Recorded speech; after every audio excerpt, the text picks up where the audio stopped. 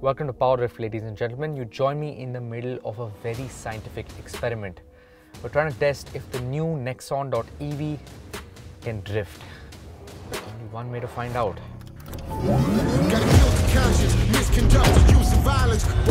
Wait, wait, wait, wait, wait. Before that, I know I said all new, but this isn't all new how you think it's all new.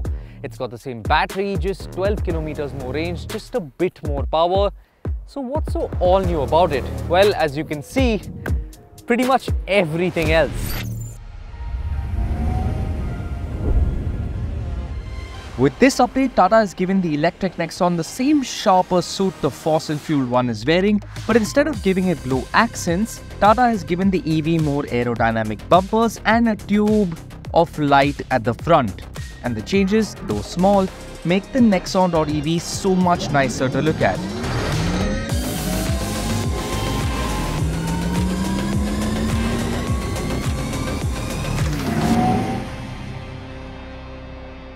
It's got the same new interior as well, including the new digital instrument cluster with the awesome navigation functionality, the same illuminated logo that sits behind a very scratch-prone panel, but it also gets a bigger infotainment screen. I don't know what your take is on whether size matters or not, but 12 inches, boy, that's pretty big. And the big deal here is the Arcade.ev suite of apps that lets you stream movies and videos or even play games while you charge.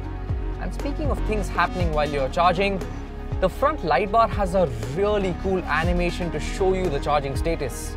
It's very Rivian-esque.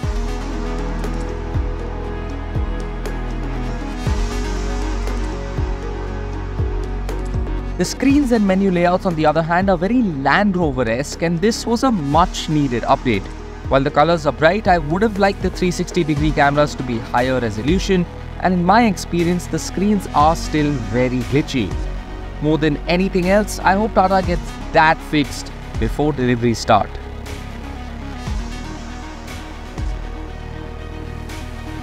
One thing that didn't need fixing though is how the old Nexon EV drove and this one has the same awesome ride quality. It goes through bumps like a tank and it has real good stability at triple digit speeds.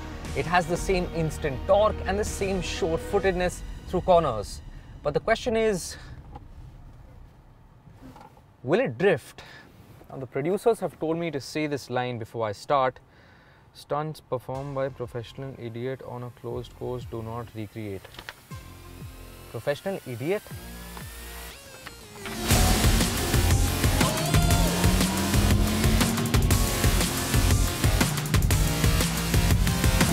Now while Tata has put a dot between Nexon and EV, power has gone up by more than a dot because of the new and lighter Gen 2 motor.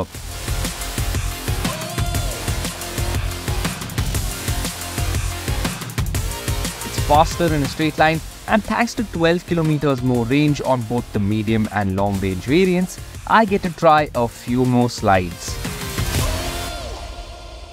But even then, the answer to the question is sadly no. ESP and TC can't be switched off and there's an electronic handbrake, so no matter how hard I try to drift it, it's not happening. But if you drive this long-range Nexon.ev like a human and not like a monkey, you can get over 285 kilometers on a single charge. And I'm getting a little bit wet. Regen is adjustable via the paddles and both variants now come with a 7.2 kilowatt AC fast charger with V2L and V2V capability as well. The Nexon still has ample luggage space, room in the back for adults shorter than me and enough range to do short trips outside the city and many many trips inside it on a single charge. I'm 5'10 if you're wondering and the Nexon EV is 10 on 10 at least in terms of the sales because there was nothing really wrong with the old Nexon EV except the fact that it was getting a little bit, well, old. This new one fixes that. It looks really good. I mean, really, really, really good. The interior is also a whole lot nicer and there's a lot more tech in there as well. Some of it works, some of it mm, not so much. There is also a little bit more range and overall the most popular electric SUV on the market just got a whole lot better. I'm Karan, thank you for watching Power Drift, have an awesome day ahead and I'll see you on the next one.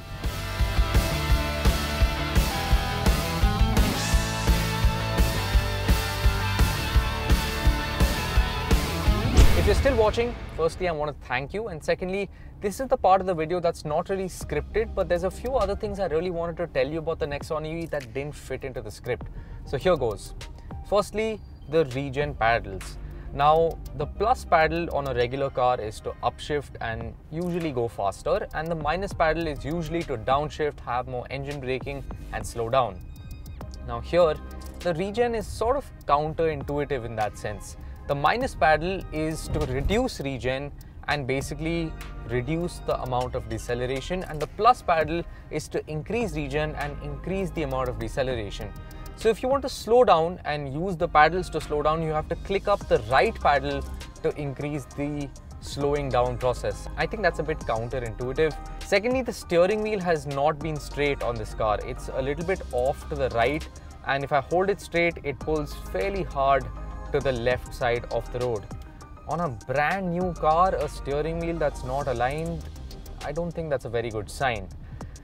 Thirdly, this digital instrument cluster has basically conked off in terms of the range readout pretty much 10 minutes into the drive. Fourth is the drive mode selector which has the toggles as city, then eco and then sport. I feel it should be eco, city and sport because in my head eco is the most economical and city is the one that's in the middle of eco and sport. So why is eco in the middle of the two? I don't get it. Anyways, thank you for watching Power Drift and thank you for sticking around to the end.